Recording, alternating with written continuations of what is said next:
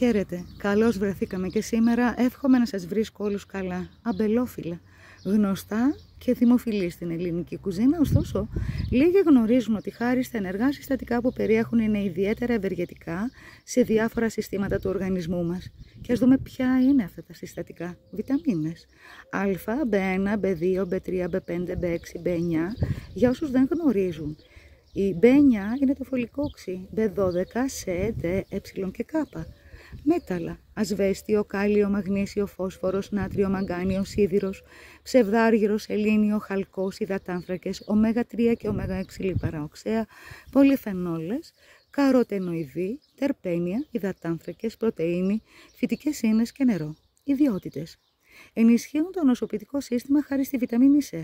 Προλαμβάνουν την ανεμία χάρη στον σίδηρο, ένα μέταλλο που παίζει σημαντικό ρόλο στον σχηματισμό της αιμοσφαιρίνης, στα ερυθρά αιμοσφαίρια και φυσικά η βιταμίνη C βοηθάει στην απορρόφησή του. Δρούν στο κεντρικό νευρικό σύστημα χάρη στο σύμπλεγμα των βιταμινών B, μειώνοντας το οξυδοτικό στρες και την φλεγμονή σε νευροεκφυλιστικές ασθένειες όπως το Πάρκινσον, το Αλτσχάιμερ ή Άνια. Τα αμπελόφυλλα είναι ισχυρό σύμμαχος των ματιών, διότι μεταξύ των άλλων περιέχουν και ανθοκιανασίδες, για τις οποίες έχει αποδειχθεί ότι είναι πολύτιμες για την καταπολέμηση των ελευθέρων ριζών, από τις οποίες μάλιστα είναι σε θέση να παγιδεύσουν σχεδόν όλα τα γνωστά είδη.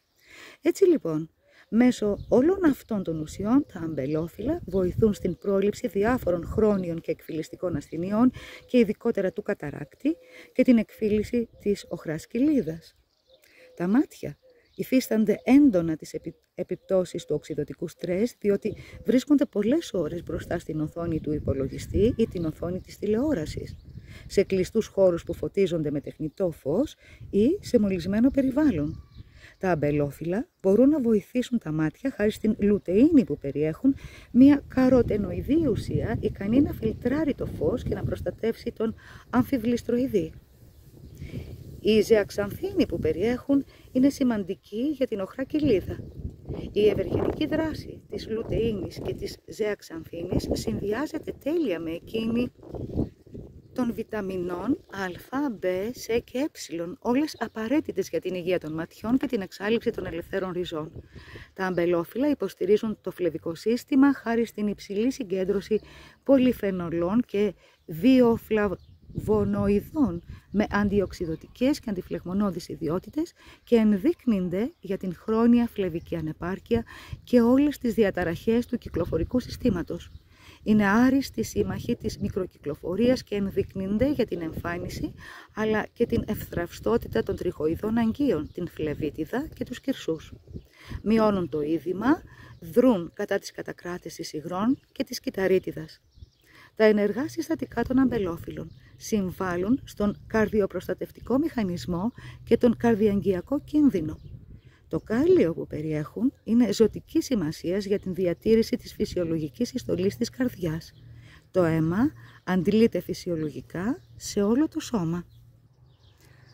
Ακόμα, τα αμπελόφυλλα μπορούν να παρεμποδίσουν την υπατική απορρόφηση της χολυστερόλης, αλλοιώνοντας έτσι την διαδικασία σύνθεσης των τριγλικεριδίων. Βοηθάνε στην υγεία των αρθρώσεων χάρη στο μαγκάνιο που περιέχουν και το οποίο είναι σημαντικό για τον σχηματισμό χόνδρου. Μπορεί να βοηθήσει στην λίπανση της άρθρωσης και να μειώσει την τριβή που μπορεί να οδηγήσει σε αρθρίτιδα. Βοηθάνε στην μείωση μυϊκών κραμπών, μουδιάσματος και μυρμηγκιάσματος των άκρων του σώματος. Προστατεύουν τον εντερικό βλενογόνο και βοηθούν στην αποκατάστασή του. Βοηθάνε τα έντερα να ανακάμψουν σε περίπτωση διάρειας, χάρη στα μέταλλα που περιέχουν. Έχουν και αντιμικροβιακή δράση, δρούν κατά του οικόλη, τις σαλμονέλες και του σταφυλόκοκου. Τα αμπελόφυλλα λειτουργούν ως μηχανισμό στην καταπολέμηση των ελευθέρων ριζών και μπορούν να βοηθήσουν στην πρόληψη της μετάλλαξης των καρκινικών κυτάρων, μπορούν όμως και να αναστείλουν την ανάπτυξη όγκων. Βοηθάνε στην υγεία των οστών και των δοντιών χάρη στο ασβέστιο που περιέχουν. Είναι χρήσιμα για την αιμορραγία της μήτρας, τον πονοκέφαλο και τον πυρετό. Χρήσιμα και για το δέρμα χάρη στη βιταμίνη ε και τον χαλκό. Βοηθάνε στον σχηματισμό καλαγόνου και κάνουν το δέρμα να φαίνεται πιο νέο και λαμπερό. Πότε τα μαζεύουμε τα αμπελόφυλλα; τον Μάιο και τον Ιούνιο τις πρωινές ώρες και αφού έχεις, έχουν στεγνώσει από την νυχτερινή υγρασία. Μαζεύουμε τα ανοιχτόχρωμα νεαρά φύλλα, τα οποία δεν θα πρέπει να είναι ξερά στις άκρες. Να έχουν φουσκάλες, πτυχώσεις και να καλύπτονται από μία λευκή πατίνα.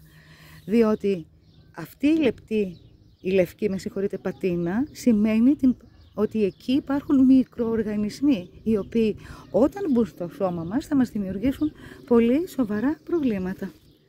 Αφού τα, μαζέψει, θα, τα μαζέψουμε θα πρέπει να τα πλύνουμε πάρα πολύ καλά, να τα στεγνώσουμε με πετσέτα χαρτί κουζίνας και να τα αποξηράνουμε από, απλωμένα σε σκιερό και καλά αριζόμενο χώρο.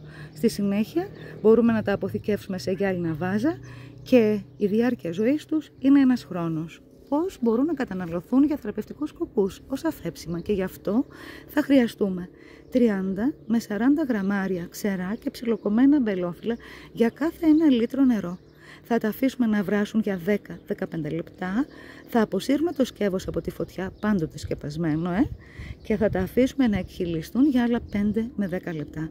Στη συνέχεια θα σουρώσουμε και θα καταναλώσουμε. Από το αφέψιμα αυτό μπορούμε να καταναλώνουμε 2 με 3 φλιτζάνια την ημέρα. Το αφέψιμα αυτό μπορεί να χρησιμοποιηθεί και για κομπρέσεις, για πόνους της αρθρώσης και τα διασταλμένα αγγεία αλλά και για τα πονεμένα μάτια και την επιπεφικήτιδα και τον πονοκέφαλο. Για τον πονοκέφαλο την κομπρέσα θα τη βάλουμε στο μέτωπο. Για τον πονοκέφαλο όμως μπορούμε να τοποθετήσουμε βολτοποιημένα φύλλα στο μέτωπό μας, πολτοποιημένα φύλλα μπορούμε να τοποθετήσουμε και για τους πόνους των αρθρώσεων, τους κυρσούς και τη φλεβίτιδα. Αν την δείξεις. Η χρήση τους θα πρέπει να γίνεται με το μέτρο, διότι η υπερκατανάλωση μπορεί να προκαλέσει γαστρεντερικές παθήσεις. Η χρήση, μάλλον χρήση, δεν θα πρέπει να γίνεται από τις γυναίκες που βρίσκονται σε εγκυμοσύνη ή θυλάζουν. Τα άτομα που πάσχουν από άσθμα, νεφρική ή καρδιακή ανεπάρκεια ή ακολουθούν αντιπικτική αγωγή, θα πρέπει πριν τη χρήση να συμβουλευτούν το γιατρό τους.